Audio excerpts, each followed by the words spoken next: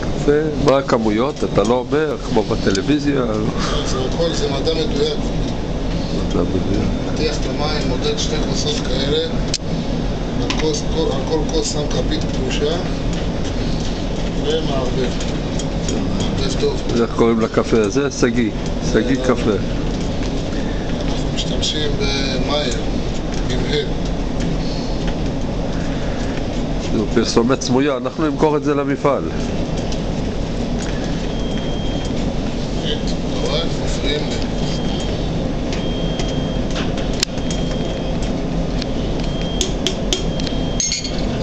תן לו להתבשל.